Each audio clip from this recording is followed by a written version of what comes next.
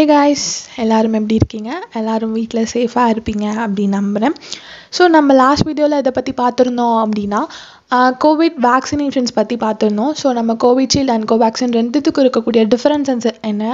And அதோட origin என்ன? அப்படின்ற விஷயத்தெல்லாம் பற்றி பார்த்துருந்தோம் இல்லையா?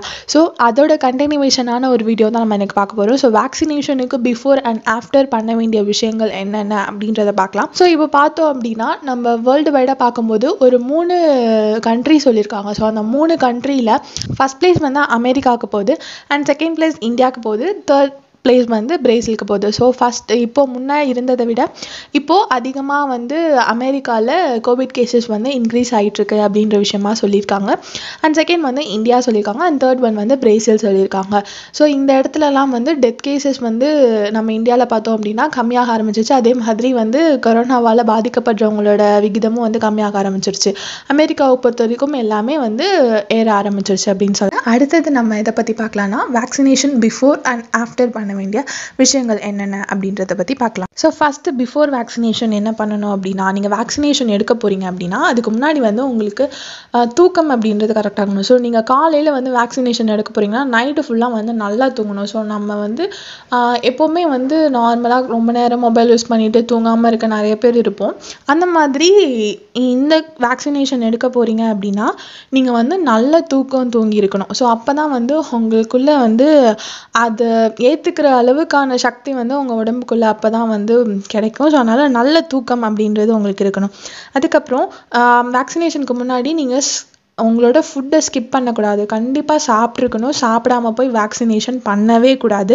ஏன்னா உங் நம்ம வந்து சாப்பிடாம இருக்கும்போது நமக்குள்ளே வந்து ஒரு ஆசிட் ஃபார்ம் ஆகும் இல்லையா?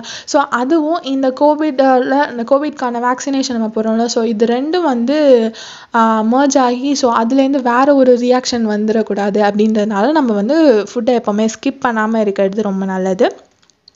அண்ட் தென் நம்ம வந்து என்ன முக்கியமாக ஒரு விஷயம் என்ன அப்படின்னு பார்த்தீங்கன்னா த்ரீ டேஸ் இப்போ நீங்கள் வேக்சினேஷன் போட்டிங்கன்னா அதுக்கு த்ரீ டேஸ் பிஃபோர் வரைக்கும் நீங்கள் வந்து ஆல்கஹால் எடுத்துக்கவே கூடாது. ஸோ அப்படி இருந்துச்சுன்னா அந்த ஆல்கஹால் கண்டென்ட் வந்து நம்ம இப்போது வந்து யாரோ ஒருத்தவங்க இருக்காங்க. ஸோ இன்றைக்கி வந்து ட்ரிங்க் பண்ணுறாங்க ஸோ அந்த ட்ரிங்க்கோட ரேஞ்ச் வந்து அவங்களோட பாடியில் த்ரீ டு ஃபைவ் டேஸ் வரைக்குமே ஆக்டிவாக இருக்கும். ஸோ அதனால் நம்ம என்ன பண்ணணும் அப்படின்னா இப்போ நீங்கள் வேக்சினேஷன் போட்டுக்கணும் அப்படின்னு நினைக்கிறீங்கன்னா அதுக்கு three days or five days வரைக்கும் நீங்கள் வந்து ட்ரிங்க் எடுத்துக்கவே கூடாது. அண்ட் தென் நிறைய வந்து நம்ம நான்வெஜ்லாம் சாப்பிட்லாமா அப்படின்ற ஒரு டவுட்ஸ் வந்து இங்கே நிறைய பேருக்கு இருக்கு. ஸோ நான்வெஜ் சாப்பிட்லாம். அண்ட் நார்மலான நிறைய வெஜ்ஜீஸ் எடுத்துக்கலாம். ஸோ ரொம்ப ரொம்ப நல்லது. நம்ம அதுக்கு முன்னாடி பார்த்தோன்னா நிறையா லிக்விட் கண்டென்ட் வந்து அதிகமாக நம்ம உடம்புல இருக்கணும். ஸோ லிக்விட் கண்டென்ட் அதிகமாக இருக்கும்போது நம்ம சீக்கிரமாக நம்ம ஹைட்ரேட்டடாக இருந்துட்டு இருப்போம். அதனால் நமக்கு பெருசாக எதுவும் பாதிப்பு வராது. நம்ம கோவிட் வேக்சினேஷன் பண்ணிக்க போகிறோன்னா அதுக்கு முன்னாடி நம்ம வந்து நல்லா தண்ணி குடிக்கணும். ஸோ நம்ம எப்போவுமே அளவுக்கு தண்ணி வந்து கம்மியாக குடிக்கணும். எப்போவுமே குடிக்கிறதை விட கம்மியாக குடிக்காதீங்க. அதை விட கொஞ்சம் அதிகமாக குடிச்சிங்க அப்படின்னா நம்ம நம்மளை ஹைட்ரேட்டடாக வச்சுக்க முடியும். ஸோ அந்த கோவிட் வேக்சினேஷன் போடும்போது நமக்கு எந்த ப்ராப்ளம்ஸும் இருக்காது. அதுக்கப்புறம் முக்கியமான ஒரு விஷயத்தை நம்ம அவாய்ட் பண்ணணும். ஸோ வேக்சினேஷனுக்கு முன்னாடி வந்து நம்ம மைதாவால் செய்யப்பட்ட எந்த ஒரு ஃபுட்டுமே வந்து செய் சாப்பிட்றவே கூடாது. பிகாஸ் ஏன்னா இப்போலாம் நம்ம ரோட் சைட்ஸில் என்ன பண்ணுறோம் அதிகமாக வந்து ஷவர்மா ஸோ இப்போ வேக்சினேஷன் போட போகிறோம் அப்படின்னு வச்சுக்கோங்களேன். இப்போ ரோட் சைடில் ஏதோ ஒரு ஷவர்மா கடையை பார்த்துட்டோம். இல்லை பரோட்டா கடை பார்த்துட்டோம். அப்படின்னா நம்ம என்ன பண்ணுவோம்? நமக்கு ஷவர்மா தான் முக்கியம் அப்படின்னு போயிட்டு சரி ஷவர்மா சாப்பிட்டுட்டு அப்புறமா போய் வேக்சினேஷன் போடுறேன். அப்படிலாம் போகக்கூடாது.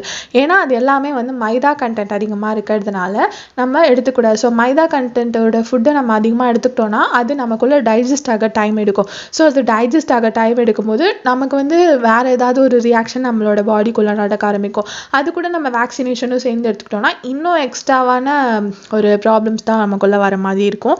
ஸோ அதனால இந்த விஷயம் எல்லாத்தையுமே நம்ம கண்டிப்பாக ஃபாலோ பண்ணணும். முக்கியமாக பண்ண வேண்டியது என்ன அப்படின்னா நம்ம வந்து ஃபஸ்ட்டு சாப்பிட்ருக்கணும் நல்லா சாப்பிட்ருக்கணும் அண்ட் நல்லா தூங்கியிருக்கணும்.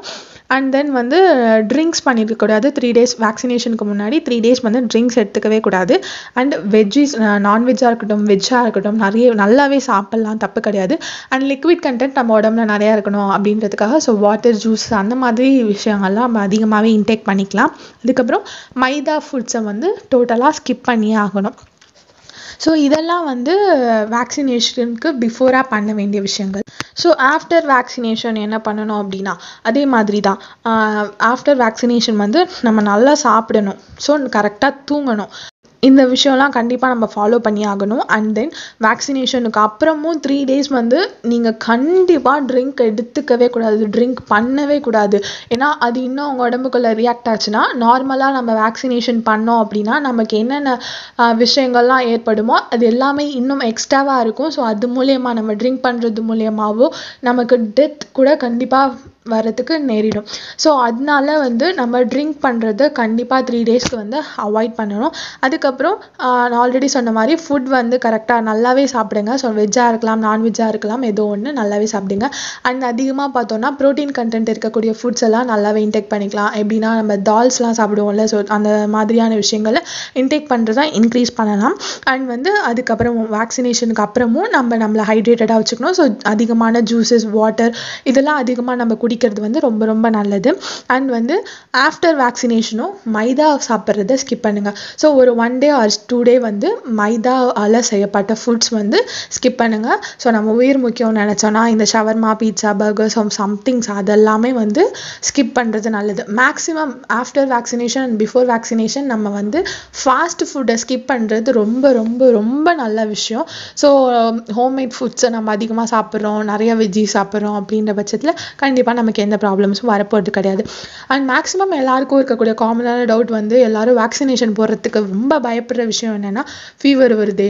ஸோ கோவிட்னாலேயும் ஃபீவர் வருது வேக்சினேஷன் போட்டாலும் ஃபீவர் வருது. அதனால அதுக்கு பயந்துட்டே நிறைய பேர் வேக்சினேஷன்ஸ் போட்டுக்கிறது கிடையாது.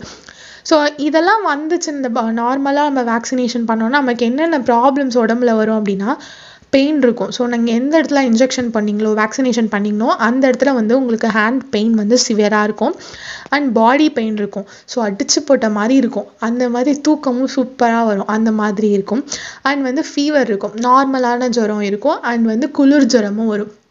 ஸோ இதில் வந்து நான் இப்படின்னா நீங்கள் இன்ஜெக்ஷன் வேக்சினேஷன் போடுறீங்க அப்படின்னா உடனே உங்களுக்கு இதெல்லாம் வந்துடாது ஸோ கொஞ்சம் நேரம் கழிச்சு எல்லாமே வரும்.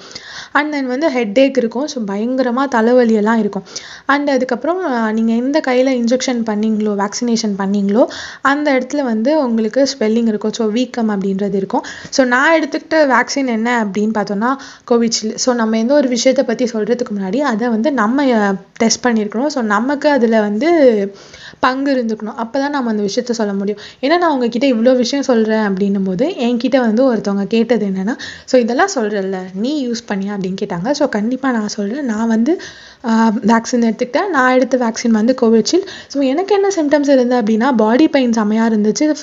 அதிகமாக தூக்கம் பயங்கரமாக தூக்கம் இருந்துச்சு. டயர்ட்னஸ் ஃபுல்லாகவே இருந்துட்டு இருந்து அதுக்கப்புறம் ஹேண்டில் வந்து பெயின் இருந்துச்சு அண்ட் வீக்கம் இருந்துச்சு. ஸோ இதுதான் வந்து எனக்கு இருந்த சிம்டம்ஸ் ஸோ அதுக்கப்புறம் வந்து இந்த மாதிரி ஃபீவர்லாம் வருது அப்படின்ற பட்சத்தில் வந்து நீங்கள் கவர்மெண்ட் ஹாஸ்பிட்டலுக்கு போனீங்க அப்படின்னா அவங்க கையில் உங்களுக்கு ரெண்டு பேராசிட்டமல் கொடுத்து அனுப்புவாங்க. சப்போஸ் உங்களுக்கு ஃபீவர் வந்துச்சு அப்படின்னா நீங்கள் வந்து பேராசிட்டமல் எடுத்துக்கோங்க அப்படின்னு சொல்லி நமக்கு கொடுப்பாங்க. ஸோ இதே நீங்கள் ப்ரைவேட் ஹாஸ்பிட்டலில் நான் சொல்லியிருந்தேன் ஆல்ரெடி டூ ஃபிஃப்டி ருபீஸ் கொடுத்து தான் நீங்கள் இன்ஜெக்ஷன் போடணுன்ட்டு ஸோ அங்கே என்ன பண்ணுவாங்கன்னா நீங்கள் பேராசிட்டமல் வாங்கி யூஸ் பண்ணிக்கோங்க. சப்போஸ் ஃபீவர் வர மாதிரி இருந்துச்சுன்னா அப்படின்னு சொல்லுவாங்க.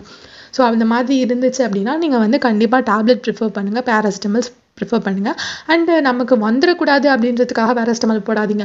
ஃபீவர் வரு வர மாதிரி இருக்குது வந்துருச்சு அப்படின்னா நீங்கள் பேராசிட்டமல் யூஸ் பண்ணுங்கள் அதுக்கு முன்னாடியே வந்து கண்டிப்பாக டேப்லெட் போடவே போடாதீங்க. ஏன்னா நமக்கு ஒரு விஷயம் இல்லாதப்போ அந்த விஷயத்துக்கான ஒரு விஷயத்தை நம்ம உடம்புக்குள்ளே எடுத்துக்கிட்டோம் அப்படின்னா அதுவே அந்த விஷயத்தை நமக்குள்ளே கொண்டு வந்துடும் ஃபார் எக்ஸாம்பிள் எப்படி பார்க்கலாம் அப்படின்னா ஃபீவர் ஸோ நம்ம வேக்சினேஷன் பண்ணியாச்சு. ஃபீவர் வரவே இல்லை. சரி ஃபீவர் வரக்கூடாது அப்படின்றதுக்காக நம்ம டேப்லெட் போடக்கூடாது. அது நமக்கு இன்னும் ரியாக்ட் ஆக ஆரம்பிக்கும் ஸோ அதனால் உங்களுக்கு அந்த மாதிரி ஃபீவர் வர மாதிரி இருந்துச்சுன்னா மட்டும் பேராசிட்டமல் எடுத்துக்கோங்க. ஸோ இந்த விஷயத்தெல்லாம் வந்து நம்ம கரெக்டாக ஃபாலோ பண்ணனாலே நமக்கு வந்து எந்த விதமான ப்ராப்ளம்ஸுமே கிடையாது. அண்ட் லாஸ்ட் வீடியோவில் என்கிட்ட ஒருத்தவங்க கேட்டிருந்தாங்க. ஸோ கோவிட்ஷீல்டு எடுக்கிறதுனால தான் நிறைய பேர் இறந்து போகிறாங்க அப்படின்னு சொல்லிட்டு. யாருமே கோவிஷீல்டு எடுக்கிறதுனால மட்டும் இறந்து போயிடுறது கிடையாது.